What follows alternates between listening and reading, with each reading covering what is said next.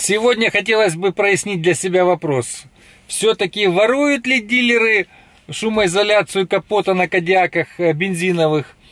Или все-таки не ставят э, завода? Ну, в общем, те, кто смотрел, как я покупал свою машину, а, значит, видели, что обратили сразу внимание, что шумоизоляции нет, и я просил ее поставить менеджера сразу там дополнительно за отдельные деньги.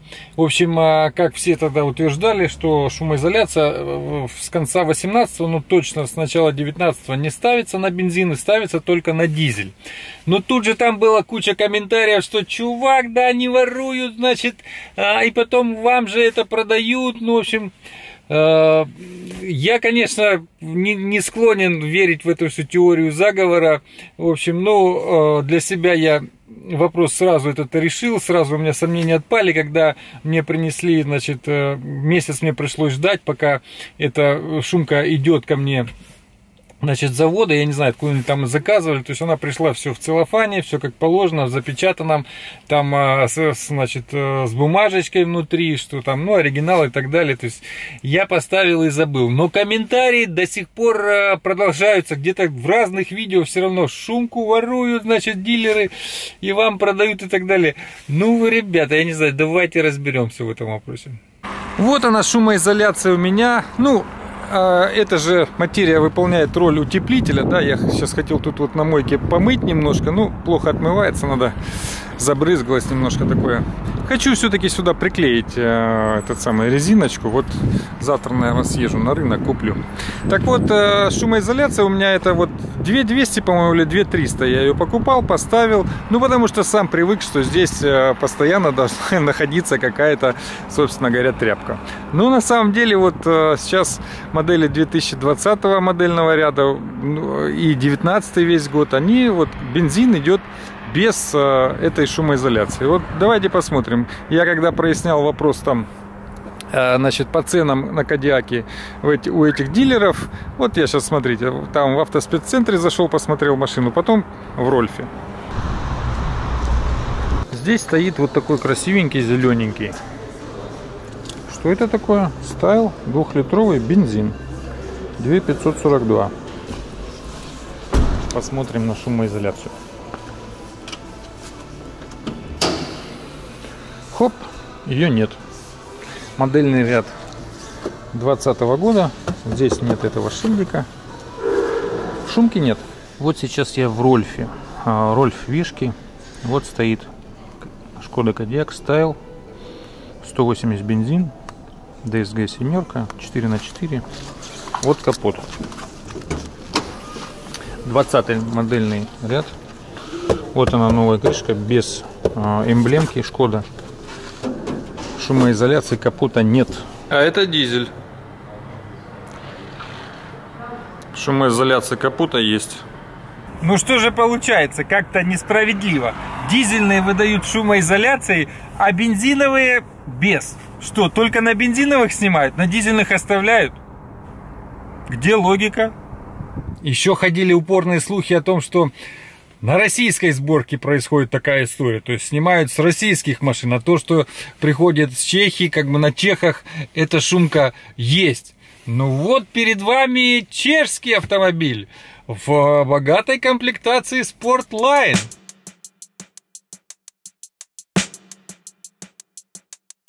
Но как видим, шумоизоляции на нем тоже нет. Тоже украли, скажете вы? Ну, здесь я могу сказать только одно. Видимо, многие из нас привыкли, что кругом все э, обманывают, причем обманывают нас. Но у меня тут родилась глубокая мысль. Э, если так вот рассуждать, то получается, что не нас обманывают, а мы друг друга обманываем. Да? Вот кто-то работает там в стоматологии, обманывает, обсчитывает. Кто-то работает в дилерском центре где-то там что-то обманывает, обсчитывает. Кто-то, значит, там не довешивает колбасы. А, кто-то, ну, в общем, понимаете? И мы, работая в разных сферах, друг друга обманываем. Или лукавим, или обманываем. В общем, так и происходит. Поэтому боимся, что вот и нам кажется, что все кругом какой-то вот заговор, заговор, заговор. Понимаете? Глубокая мысль, вот вы подумайте об этом. Я стараюсь э, жить так, чтобы вот, вот в такую ситуацию не попадать именно от себя. То, что от меня зависит, я все-таки ну, стараюсь ну, по возможности не врать, не где-то вот другому не делать гадость. Это очень серьезный такой разговор, но сегодня просто о шумоизоляции. Так вот, э, а с этой шумоизоляцией оказалось, что ну не все так плохо. А чтобы это понять, достаточно просто написать запрос. Куда? Правильно, в представительство Шкоды. Написал я, и буквально через несколько дней а, написал в общий отдел, через несколько дней мне приходит, ваш запрос был а, перенаправлен значит, техническому специалисту, а еще через а, парочку дней приходит ответ, очень лаконичный, очень краткий, но достаточно с ясным и понятным для меня содержанием. Уважаемый Александр, пишут они, ну вот умеют подкатить. Добрый день. Прежде всего, благодарим вас за проявленный интерес к марке Шкода. Ну и вам не хворать.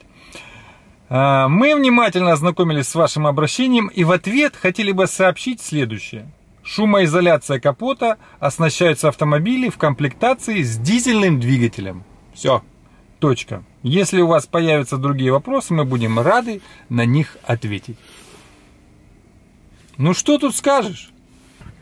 У дилеров московского региона версии Кодиака с бензиновым двигателем стоят в продаже без шумоизоляции.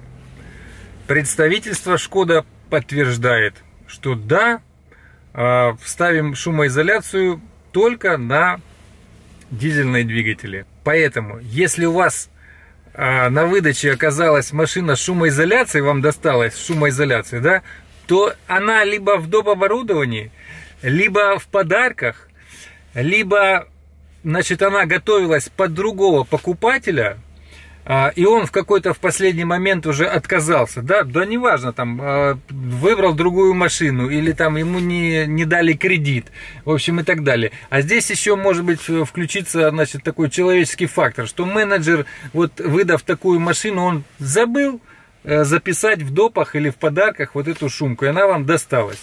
Но какие-то еще другие варианты, но то, что от производителя а, на бензиновые машины, а, по крайней мере с 2019 года, не ставится шумоизоляция капота, ну, для меня это ясно, очевидно и понятно. Поэтому никто не ворует.